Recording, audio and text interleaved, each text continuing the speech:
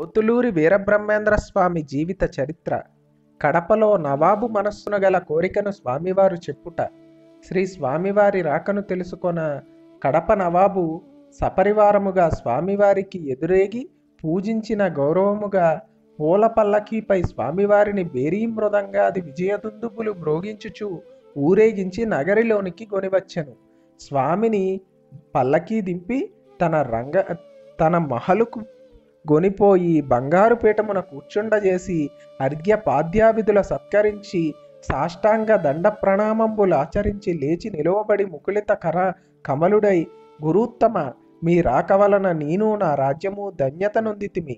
తమరి వీటనున్నంత కాలము ఈ రంగమహలునందే యుండు మీకు వలయు సదుపాయములనెల్ల ఏర్పాటు చేయించదనని కటు భక్తితో పలికి భోజనాది ఏర్పాట్లు చేయించుటకు నవాబు దేవిడీలోనికేగెను సిద్ధయ్య స్వామివారిని చేరి గురుదేవ నన్ను మతభ్రష్టులొనర్చిరని నా తండ్రి తమపై ఫిర్యాదు చేసినది నవాబు వారితోనే అని విన్నవించెను.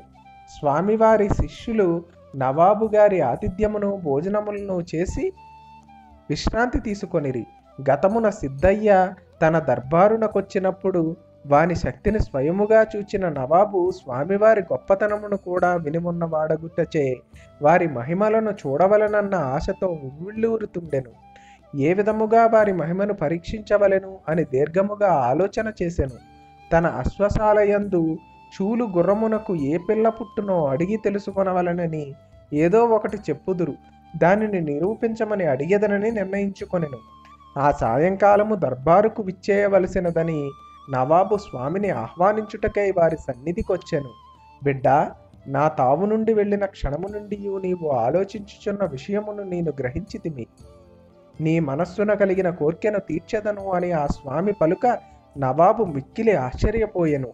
ఈ పురుషోత్తముడు సామాన్యుడు కాడు అవతారమూర్తి అని ఆనందించిన వాడై తన జనులకెల్లరకు శ్రీవారి రాకను తెలియజేయ శ్రీముఖమును జారీ చేసెను. తన రాజదర్బారునకు ముందు సర్వాంగ సుందరమైన మండపమును సువిశాలమైన దానిని ఒకదాన్ని నిర్మింపచేసెను.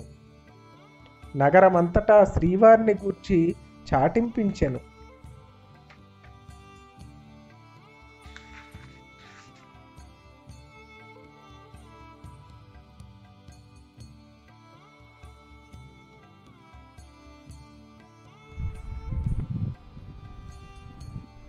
విద్వజ్జనులకు సంపన్నులకు రావలసినదని శ్రీ ముకుల పంపించెను.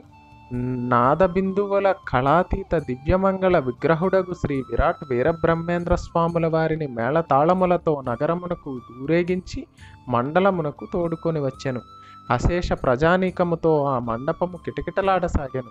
శ్రీవారి రత్నఖచిత సువర్ణపీఠముపై కూర్చుండజేసి అర్ఘ్య పాడ్యాదుల పూజించి దండ ప్రణామంబులంబును ఆచరించి నవాబు ముకులిత హస్తుడై వారి చెంత నిలబడి జనులందరికీ వినబడుట ఇట్లనెను.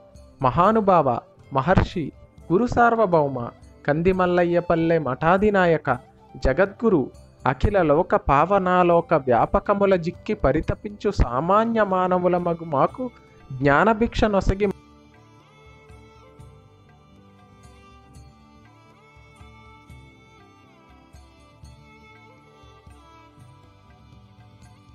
మా బోటివారము సురక్షితముగా రాజ్యపాలన మొనర్చగలుగుచున్నాము. మాయామోహముల మ్రగ్గుచున్న మమ్మొద్దరించి వచ్చిన సద్గురువులు మీరు.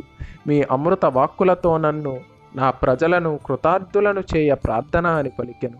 అంత స్వామివారు ద్వారా నెల్లరను కూర్చుండననుడిగి బిడ్డలారా మమ్ము తెలియగోరు వారికి మా మాటలు వినిగోరు వారికి అభీష్టము నీడేర్చగలందుల ఏమి దేశాటనము చేయుచుంటిని.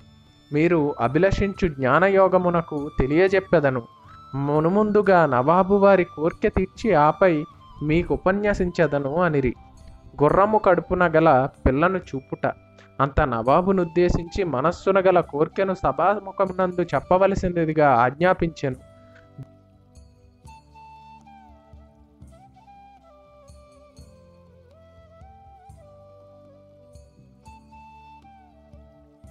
బిడ్డ నీ కోర్కెను తప్పక నెరవేర్తును. ఆ చూడి గుర్రము నీ సభకు రప్పించుము అని స్వామి అనగా ఆ నౌకరులను ఆ నౌకరులను బండి నవాబా గుర్రమునకు తెప్పించాను. స్వామి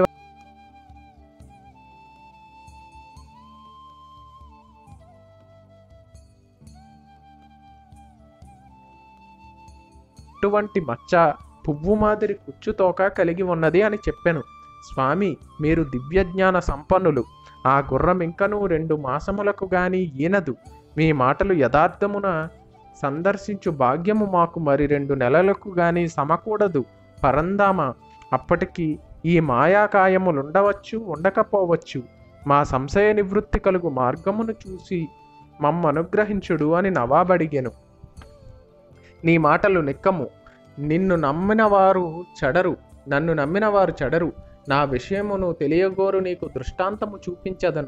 ఈ గుర్రపు ఈ గుర్రము చుట్టూను తెర కట్టించుడు దాని గర్భమందలి శిశువును వెలికి తీసి మీకెల్లరకును చూపింతును అని శ్రీ వీరబ్రహ్మేందులనిరి. స్వామి జగత్పూజ్యులగు మీ మాట కాదనగలునా? మీ మీ దర్శన భాగ్యమున కలిగిన పుణ్యమును గుర్రమును చంపించిన పాపము నేల పోగొట్టుకునవలెను. సాహసమునర్చి మీ మాటకు ప్రశ్నించిన నా అపరాధమును మన్నించుము. దానిని వధించకుడు అని నవాబు వినయాంజలుడై ప్రార్థించెను. బిడ్డ నీకా భయ సందేహములు వలదు. తెరలు కట్టించుము. మా మహిమను తెలిసియున్న నీకీ రీతి సందేహం ఎందులకు గుర్రము ప్రాణమునకొచ్చు భయమేమీ లేదు అని చెప్పి తెరల మధ్యనున్న గుర్రము వద్దకు స్వామి వెళ్ళెను. వెళ్ళిన కొన్ని క్షణములకు స్వామివారి చేతన ఒక గుర్రపు పిల్లతో ఈవలకొచ్చి నవాబునకు ప్రజలకు దాన్ని చూపించిరి. అది స్వామివారు చెప్పిన చొప్పున అలరారుచున్న మగగుర్రము తదుపరి దానితో ఆ తెరల మరుగున కేగి మరికొంతసేపటికి తన చేతగల బెత్తముతో ఆటపడి ఉన్న ఆడపడి ఉన్న గుర్రమును కొట్టి బిడ్డ లేలెమ్మని ఆజ్ఞాపించి ఎప్పటి అట్లా జీవనము జీవమొచ్చిరి సభాసదులందరూ స్వామిని వీణోళ్ళ స్తుతించిరి. వారికెల్లరకు భగవద్భక్తిని నిర్మల జీవితమును వీరబ్రహ్మేంద్ర స్వామి వారు బోధించి తీర్థప్రసాదములిచ్చి సాగనంపిరి.